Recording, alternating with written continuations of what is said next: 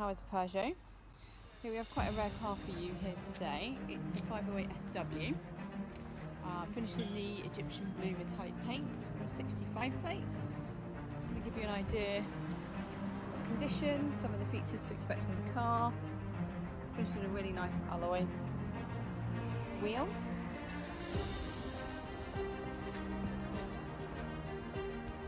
So let's walk you into the uh, boot space in the 508 SW. Rear parking sensors are standard. Amazing boot space. Good idea. Also got the seats down from the back